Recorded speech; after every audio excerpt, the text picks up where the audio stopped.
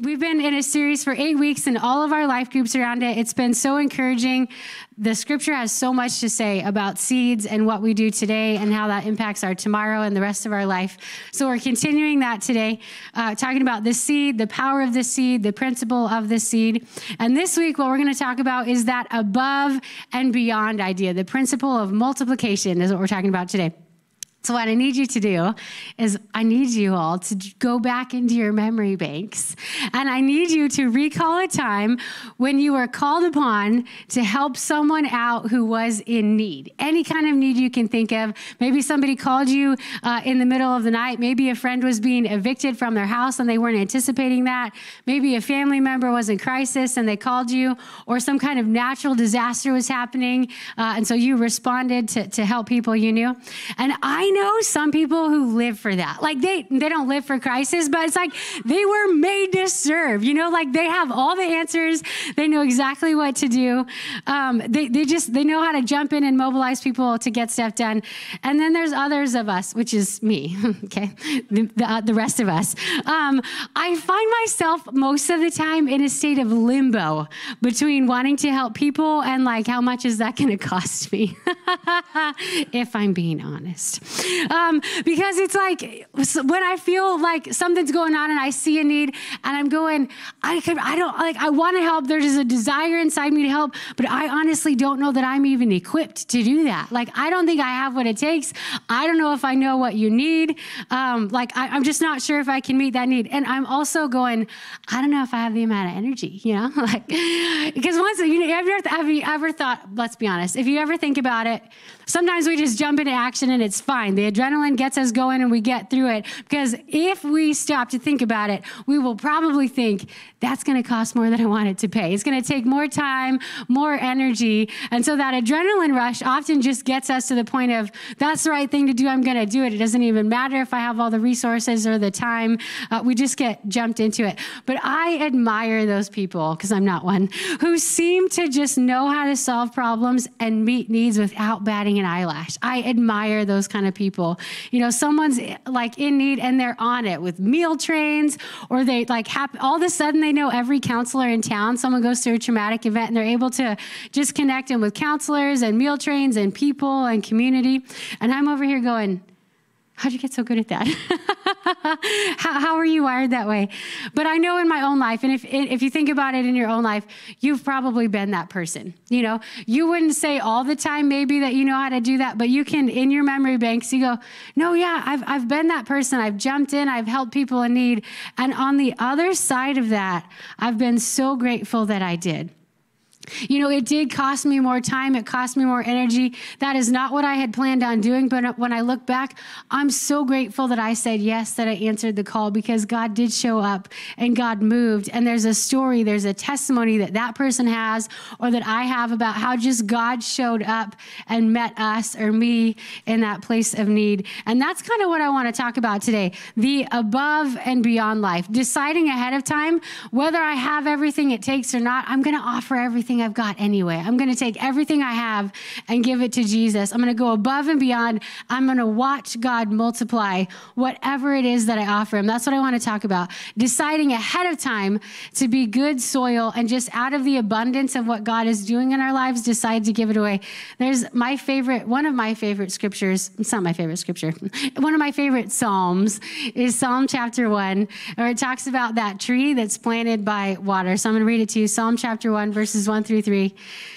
The psalmist writes, Blessed is the one who does not walk in step with the wicked, or stand in the way that sinners take, or sit in the company of mockers, but whose delight is in the law of the Lord, and who meditates on his law day and night. It says that person, the person who does that, makes choices. They, they made a series of choices to sit in the presence of the Lord. It says that person is like a tree planted by streams of water, which yields its fruit in season and whose leaf does not wither. Whatever they do prospers. And I don't know about you, but I want to be that person. You know, I want to be the person who's producing fruit when it's time to produce fruit. When fruit's supposed to be in season, by gosh, I want to have it and I want to be able to give it away and I want to be able to bless other people. And I want to do it for more than just one season. That's what it says his leaf does not wither. So it's not like they had a productive year and then that tree shriveled up and died. It stays productive, it stays connected to the water source, it stays able in every season that it's supposed to produce, it's producing. And that's for the rest of my life. I want to be that kind of person. And that's a promise in scripture. If it's there for us, that's something we can lean into, we can grab onto, we can be excited about what God is doing in our lives and go, yeah, that's possible. I, I want that. Um, so we're going to talk about that. There's another story in the New Testament, which deals with that idea of deciding ahead of time to be good soil and give all that we've got to the Lord and watch Him show up. So there was a group, we're going to read the scripture, it's going to be in Second Corinthians, but I want to set it up first because I grew up in church. My husband and I have completely different stories. I grew up going to church since I was like a, an infant. So where's where, where's Desmond at? Okay, uh, Annalie's up here on stage. Like parents, I just I grew up in church. I was always there, and so I've heard scripture after scripture. I've heard the same scripture, scripture after scripture, and so I'm one of those. If I'm being I'm being honest. I'm one of those people, and I get real judgy and I get real critical. And so when I hear scriptures over and over again, I'm like, how many times have I heard that scripture? How many times have I heard that preached? What is something new that's going to come from that? And I know that's not everybody in the room, because for some of us, this is the first time we're interacting with this content. But then there's others of us, there's still life. There's still fresh word. There's still fresh vision. And so I want to set up this scripture that we're going to read ahead of time there was a group of believers uh, in the Middle East, now modern day Turkey, uh, but in the region of Achaia. So, there, you know, all the regions. There's this region of Achaia, and what had happened is Paul was going around planting churches, and he's and he's giving them the gospel. This group of people heard about what was going on in Jerusalem. There was a time of famine, and, and the believers in Jerusalem were in need, uh, and so what the Lord did because the, the believers were excited about what God was doing in their life. As they're hearing the word of faith, they're going, We have, we have stuff. And so we want to give generously. We want to take everything that we have. We want to take up an offering of our supplies, our money, our resources, and we want to send it to Jerusalem. Paul, will you help us get it there? Okay, so, but they didn't, what's interesting is that they didn't take the collection or the offering right then.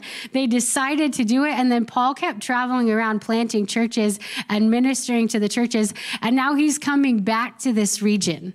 And he's come, when he comes back, he's saying, Hey, I'm coming back. Remember what you decided to do at first? Now it's time, now it's time to pay up. He's not telling them to pay up because he didn't ask them to give in the first place.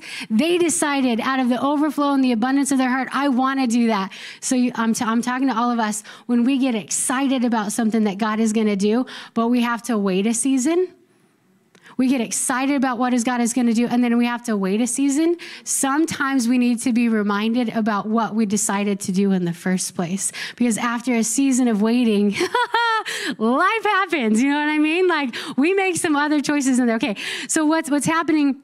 Is when Paul, these the people in Achaia, they heard about that need. Paul kept traveling, and Paul is so excited about what God is doing in these people that he goes to the, another region in Macedonia, and he tells the Macedonians, "Guess what? This church over here is going to do." And so now the Macedonians are like, well, we want in too. Like, we're excited about what God is doing. We don't want to get left out of blessing the people in Jerusalem.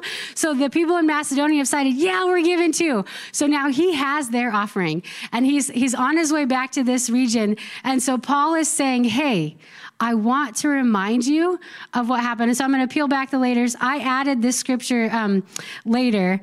So I, am going to back up and, and pull verses from chapter 8, but they're not going to go up on the screen, okay? So Paul says to them, We want you to know, he's talking to the church who made that initial decision. We want you to know about the grace that God has given the Macedonian churches in the midst of a very severe trial. So they're a little bit more in need. Their overflowing joy and their extreme poverty welled up in rich generosity. For I testify that they gave as much as they were able and even beyond their ability entirely on their own. But now he comes and he's talking to the people that originally made that decision. He says, But since you excel in everything, in faith, in speech, in knowledge, in complete earnestness, and in the love we have kindled in you, see that you also excel in this grace of giving. And this is Paul's judgment about them. Here is my judgment about what is best for you in this matter. Last year, it's been a whole year. Last year, you were the first not only to give, but also to have the desire to do so. And then he says, Now finish the work so that your eager willingness to do it may be matched by your completion of it according to your means. Because how many of you know that what starts out as exciting soon loses its fire? and then we need to be reminded to keep going, to keep giving, to keep growing, to keep serving, to keep doing the good thing that we knew was good to do in the first place. And this is where we come for the scripture for today, where we're going to get into the seeds content. Second Corinthians chapter 9, verse 6 through 11. It's after all of that that Paul says, Remember this whoever sows sparingly will also reap sparingly, and whoever sows generously will also reap generously. He's saying you were gonna you were gonna sow generously. Don't forget that. If you sow generously, you're gonna reap generously. I'm reminding you of what you wanted to do because that desire was God's desire and it's good. And so I want to encourage you to do it. Don't lose sight of it. Each of you should give what you have decided in your heart to give, not reluctantly reluctantly and not under compulsion, for God loves a cheerful giver. That word cheerful is actually hilarious. God loves a hilarious giver. He, he loves it.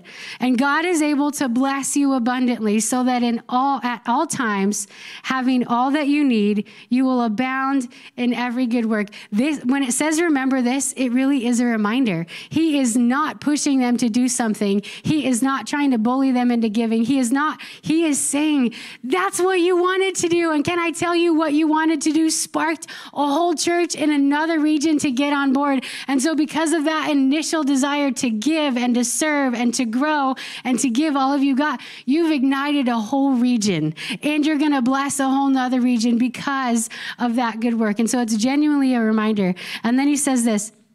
As it is written, and he's quoting a, a, different scripture they have freely scattered their gifts to the poor, their righteousness endures forever.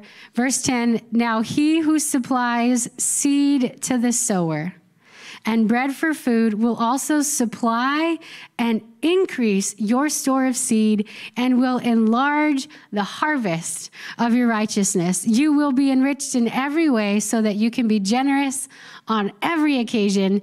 And through us, your generosity will result in thanksgiving to God. So the people in Achaia, I'm going to remind you, they were the first to respond and start with fire. And so Paul writes to them to remind them that. And I'm going to repeat myself because how many of you know what starts out as exciting and good soon loses its fire? A year later, how many of you are still doing what you said you were going to do a year ago? Whatever it is, some of us grow in that and we get better at it. Others of us in different areas, and it's this, this is all of us in different spaces in our life. Some of us get the conviction and we can run full force ahead in our life. The course of our life is changed forever. But then there's some areas that are a little bit slower to get on board. And so it takes some time, it takes some effort, it takes some reminding and some remembering because we lose sight of why we started doing it in the first place. And these are the larger questions that happen. We question if what we're still doing is necessary because we wonder what's the fruit from this? I'm i'm i'm changing and i'm doing these things but where's the return on my investment? Is it worth it? Because this looks funner. This looks better. This looks easier. This looks simpler. And so this is what i want to do. And so then we begin maybe we begin to get a little bit critical or we begin to get a little bit cynical or we get a little bit grumpy about if, what, should I still do this stuff? Is doing this stuff matter? But Paul says, God who gives you the seed to sow and bread for food will supply and multiply your seed for sowing and increase that harvest of righteousness. That increase of righteousness is more and more right things are going to be in your life, and you're going to have more and more right things to give away. So it's simply saying just keep doing the stuff. If you keep doing the stuff, more and more right things are going to come into your life, and you're going to have more and more right things uh, to give away to people. Because when we're generous, this is what the word says. When we're generous with our seed, we can also expect our resources to be multiplied. So when God gives seed, it's like, Pastor Elliot talked about this, I think, in the beginning. There's that uh, place in Norway where they're trying to hold the seed and keep it. Uh, seeds want to grow, like they just they want to, you know. But they're, what they're doing is they're trying to preserve seed for later in life, so that when there's nothing. But how many of you know seed seed that's held doesn't reproduce? It's seed that's spilled over and planted. You keep giving seed and it keeps multiplying. So to hoard what we've been given, going, I'm not sure if I'm going to have enough for later. I've got to preserve myself. I've got to preserve whatever it is in my life because I need some for later. You're not going to have some for later if you preserve it. You have some for later when you give it away, when you plant it, when you when you put it into the ground and you let it grow. That's when it begins to multiply. And so in this very specific passage, Paul is talking about money. Like absolutely he's talking about financial resource. But, and so he's calling out to them and he's reminding of that. But be sure that that a principle applies to so much more than just our finances. Absolutely, we've got to be able to trust God with that and give it. And I, I mean, give it because God has created the church and we're a set apart people. And so, when a set apart people trust God with absolute, ridiculous, hilarious faith and giving and generosity, do you know what that does for the rest of the world? He says, if you would just trust me and give, and, and you would hilariously give to me everything that you have, I will set you apart in such a way that the whole world will see see, and thanksgiving to God will pour out of that. And so, again, there's fruit in that, but it takes faith, it takes trust, and it doesn't look like anybody, anything that anybody else is doing, but it more like deeper than finances. It goes way deeper than that. He who supplies seed to the sower will supply and increase your store of seed and enlarge the harvest of your righteousness in every area where you are sowing his good seed. So let's talk about forgiveness if you have been forgiven, and you're sowing seeds of forgiveness, you better believe you're going to reap a harvest of righteousness in the places where you're sowing forgiveness in the lives of other people. When you've been forgiven much and you get hurt real bad by another person and you say, you know what, this really hurts, but I know I've been forgiven and so I'm going to forgive you anyway. And I'm going to love you through that and I'm going to stay in relationship with you. There's going to be an increase of harvest of righteousness that's coming your way because you're sowing seeds of forgiveness. Friendship, if if you've been in a place where you're lonely and all of a sudden you realize I have been befriended by Jesus and I have been befriended by a community of people, and now you start sowing seeds of friendship in your neighborhood and in your workplace, and you start making a difference and providing a place of community, you're going to reap a harvest of righteousness. More seed is going to be given to you so that there will be more and more increase in the place where you're sowing his seed kindness. If you realize that there have been thousands of people, not thousands maybe, but you have received kindness from people. You've been shown kindness in places where you sh- like you should have shame. You should have condemnation. But for some reason somebody offered you kindness and it began to wash over you and there was a healing process and you now start sowing seeds of kindness you're going to reap a harvest. And more and more seed is going to be given to you and more and more people are going to realize there's a there's a difference about who you are and it's the seed that God has given you and you're giving it away. You're sowing it. Prayer Maybe you went through something and somebody prayed for you in a way that you've never been prayed for before, and you go, that really made a difference. And so something sparked inside of you. And these are all those moments where you realize, I want to. Remember back to the beginning where you help someone in need, or the adrenaline kind of gets you through, but then a year later, you have to wonder, is what I'm still doing mattering? Forgiveness. When you were forgiven, did something spark inside of you go, I need to forgive this person and this person and this person, and I need to operate in that heart of forgiveness? But a year out from that, you're wondering, is it still making a difference? Absolutely. Absolutely. If you're still sowing, if you're still giving, there's still there's going to be a reaping and there's going to be a harvest from that prayer. Somebody prayed for you and it changed your life. And so there's been a burden on your heart, like, I want to get better at praying and I want to pray for people. If you start sowing seeds of prayer and just from the best of your ability, from the place you are, you start learning and growing and leaning into that, God is going to give you more seed for that. There's going to be more opportunity to pray for different people and there's going to be a harvest. He's going to keep giving. Uh, investing. Let's talk about not, not like financial investing, but building for the future. I am where I am because people have sowed so many seeds into this church, into this community, and into this life. I was one of the, the grade schoolers because I've been going to this church since I was nine years old. nine years old, this has been my home church. And so many people poured into me in our classrooms. All of our kids' teachers right now who are over there serving, they are sowing seeds into our kids. And can I tell you that every single person who serves in that classroom is going to have more seed to give away? And when I was a teenager, people believed me. At like 16, I was preaching and teaching and I was being given opportunities. Why? Because people were investing into me. They were taking everything that they had and they were giving it away to whoever they could find. They believed in young people. We're still a church who believes in young people. And so if you invest, you're going to have more seed. And it's beautiful because it's multiplication. Just think about this.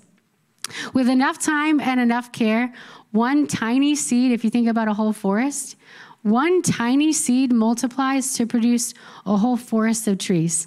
That's exponential multiplication. And so we can't always see because it's like we're living in a world of people. And here's the deal we don't always talk about what's going on inside of our lives. We don't always share the good things. Like when you get into a life group, this is what I love about life groups. If you're not in one yet, it's not too late. Our seeds content is going to end in about two weeks, and then a bunch of new content is starting. So if you're not in a life group, it's not too late because you can get in with the new content. Uh, but what happens in life groups, in those smaller groups of people, people. This happened last semester. I was leading a life group here on the campus, and there was an opportunity just to talk about the Holy Spirit and what He was doing in our lives. And it was so beautiful because one person stood up and said, You know what? I'm still here today because of what I'm seeing you do. Like when you shared your story, it resonated so much with me and it gave me hope enough to keep going. And so that's why I'm still here today. Like that's the beautiful thing. We don't always talk about what God is doing in our lives and how this person, like, how did you impact me? When we do that, then we begin to see the fruit. So can we be a church who's sharing the good things of what God is doing in us and encouraging the people who are doing the stuff? Because if people are doing the stuff and you're benefiting from it, we should be talking about. That's life. That's fire. That's refreshment. That's what keeps us going. That's the fruit. Our life is producing fruit. And so if you know people, start start talking about it. So we're going to take a like a sharp left turn right now. a very sharp left turn. Luke 6, 6, 43 through 45. This is Jesus talking. And he says, No good tree bears bad fruit, nor does a bad tree bear good fruit. Each tree is recognized by its own fruit. So people don't pick fig tree figs from thorn bushes or grapes from briars. A good man brings good things out of the good stored up in his heart, and an evil man brings evil things out of the evil stored up in his heart. For the mouth speaks what the heart is full of. So, in other words, Jesus is saying what's on the inside of our lives is going to come out and it's going to be multiplied. Jesus makes it simple. You can tell the character of a person the same way you can tell, tell the quality of a tree. What is coming out of their life? And so that's the question what's coming out of my life? What people produce is a window into who they are. And last, this is encouraging though, because last week, you can go back and watch all the messages online if you'd like to. Pastor Elliot talked about the, there's the parable of the wheat and the weeds growing together. And there's a type of weed that looks exactly like wheat until it's the time of the harvest. And Jesus says, let them grow up together and then they'll be reaped because you don't want to pull up wheat and you don't want to pull up, you don't want to pull up the wrong thing. The beautiful thing about about the kingdom is God can take what is weed and turn it into wheat. God can take a bad tree and he can make it good. God can take a bad branch and he can graft it into a life giving one and it will become a fruitful tree. He can take something from the good tree and he can put it over here and it will begin to plant. Uh, and so, what I want to talk about is the application kind of part of the message. How do we grow in living a generous life? How do we grow in living a generous life? So, if you're going to write notes, you can begin to fill in blanks. Number one is just start. just start. We have to start somewhere. We don't just wake up generous one day. If we've never been a gen- like generous a day in our life, then we're probably I'm, I'm going to say we're a bad tree in that area. Like we don't have that fruit, the ability to produce it until we start, until we get grafted in to something that's doing it. So just take one step towards living a generous life. And for you, you already know what it is. You already know the thing that God's been like, ink, like you've had an idea about maybe I should do this, maybe I should give up this, maybe I should do this. The Lord's already, and that's it. You just start. So maybe that's tithing, maybe it's giving Maybe it's serving. Maybe it's just attending church regularly. Whatever it is, just start. Maybe it's being kind at work. Like I realize the Lord's been working on me and I just need to be kind to people or I just need to start noticing or seeing. It's very simple. Whatever it is, just start. I was thinking of this because um, I live in a very healthy family. Um, many of you know because Elliot talks about all the time. He's keto, right? So he's, he's he, he loves to be keto, and I so that's what he does. And then I think that I'm healthy because my husband is keto, and by association, osmosis. Um, and then here's the thing I also buy so many fruits and vegetables. Like most of our food budget is on fruits and vegetables. And I think we're so healthy. You know who eats most of the fruits and the vegetables? My kids. and so let's just let's just break this break this down for a minute and I'm gonna get into the nitty-gritty. But so my husband is making you know his his life choices and i'm making my shopping choices but my kids are the one benefiting that. And so here's the question like to make this relatable. Am i cultivating or am i benefiting? In our own life in your own life are you cultivating things or are you benefiting from the cultivation of others and so, because God is good and He is generous, and we, we live in a community of believers and we're surrounded by believers, if that's how we live our life, we're in life groups, we're part of the church community, we're serving, we're on the dream team, there's a, there's a significant amount of our life that is being blessed and provided for. But if, let's just say, those plants or those people were to be uprooted and moved to another location, or something were to happen and so they got picked up and removed from your life, whether it was good or bad, the question is would you still be like, would your life still look the same that it is? Would you still have the same amount of hope? Would you still have the same amount of faith? Would you still have the same amount of joy? Are you cultivating or are you benefiting? And there's both. We live in a community where we should benefit, but we should also cultivate so that others can be benefited by the things that we're doing in our own life. So, would your life still be a life of abundance? Is the question. Is that abundance coming from within you, a wellspring that's that's coming over because of what God is doing in your life and how you're working to stay planted, or, or are we benefiting? So let's like just start. If you realize, man, I'm I've loved this, but I'm just benefiting in this area. That's an invitation to start. In the same way that I've been blessed by that, I want to cultivate that in my own life. We just start. Number two, join a team. Growth Track's happening today, people. Uh, join a team. But and I'm not saying because we just need you to serve somewhere. That's not it at all. Join a team so that God can multiply the impact of what He's put inside of you. However, God wired you, He's going to use it. And there is something about you that God is going to multiply in your life. This isn't a push, although we would love to have like everybody ever serve in our classrooms because we're a church of young families. Uh, and we have big, can I tell you that we have big plans for the future? We're drawing up plans to make our classrooms better, to kind of redesign those. And, and that's coming. That's a, that's a future thing. Right now, we're drawing plans for that. But I am where I am because people poured into me as a young person. And so we make a difference when we pour into our kids. And so I say join a team. And I'm not telling you to serve in the classroom because if you have kids, I don't want you anywhere near my kids. but there's a place for you. There is a place for you. There's things God has put inside of you, and maybe they're not being tapped into yet. Maybe you haven't had an opportunity to serve or to discover your gifts, discover a little bit more how God wired you. This is a great place to do it. You can join a team and we'll invest in you. We build leaders around here. We invest in people so that you can invest in and build up other people. So, one way you can do that is join a team.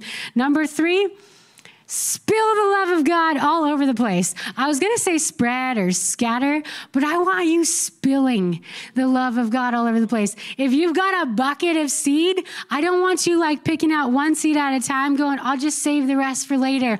I want you to take your whole bucket of seed and just dump it out. Why? Because God's going to fill it back up. That's what he says. He who provides seed to the sower will increase your store. He will keep on. So, whatever you've got, would you just spill it all over the place? Make a mess with God's love, like everywhere. You know, have you ever, you know, spilled anything? The other day I cracked open. Oh, when you crack open an egg on the floor. That is the boogeriest mess that you ever have to clean up. You need like 12,000 paper, a whole roll of paper towels is what you need to spill it. Make a mess with God's love all over the, get it all over people.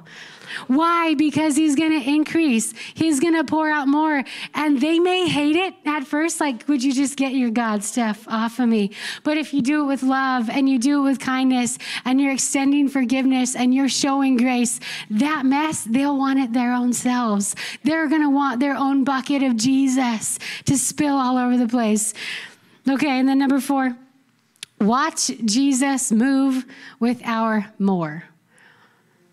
Your more is just what that little boy's lunch was some loaves and some fishes. Your more.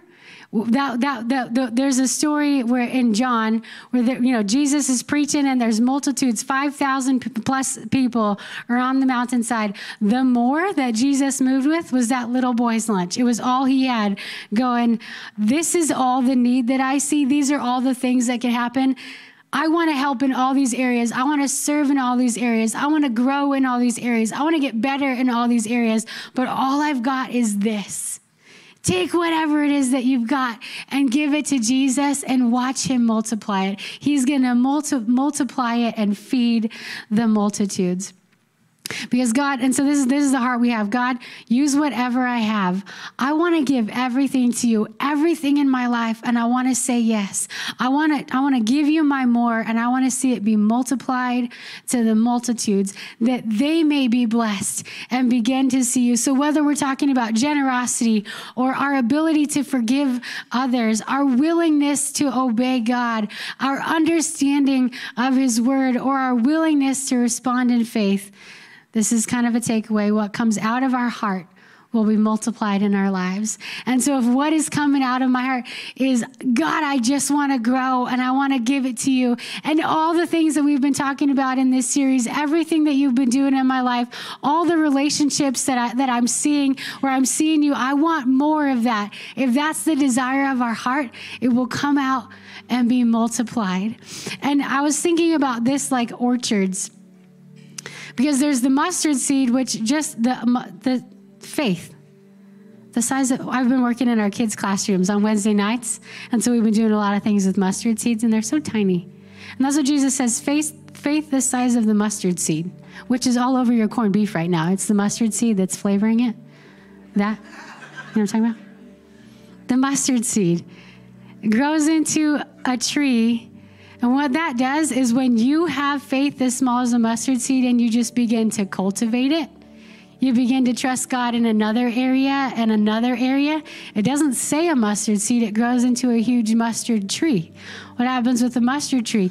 You can find shade in the mustard tree. Other people can benefit from what you have, that life of faith that you have cultivated its branches come over, and now people can come under and they can find rest in the faith that you have created. And then they begin to move to a place where now they're cultivating in their own life, but it started with you. It started with you. There's the fig tree, which is talking about fruit. But Jesus curses the fig tree because it doesn't have any fruit on it. It's not even time, and he just goes, curse you. Crazy. It's fruit. And so as as people, we are in our own life, we, we have our own orchard. We have trees of faith. We have mustard trees. We have fig trees. We have trees that are planted by streams of water. And then when we're in a community of people, they've got orchards. So we're it's not just one tree. God has given us orchards. Orchards of provision and abundance and blessing and faith and encouragement and hope. And he doesn't want any part of it missing. He wants overflow and abundance. He want to takes he wants to take all of those good things in our life and he wants to multiply it.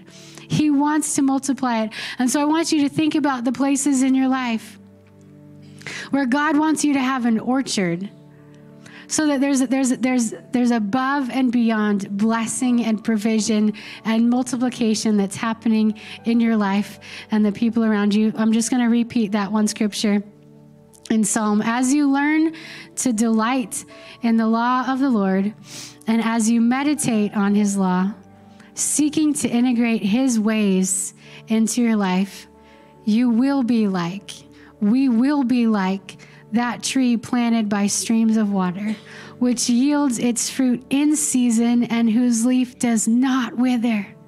Whatever they do will prosper. Let's go ahead and pray. Close your eyes and bow your heads if you would. Father God, we thank you so much that you're the God of abundance.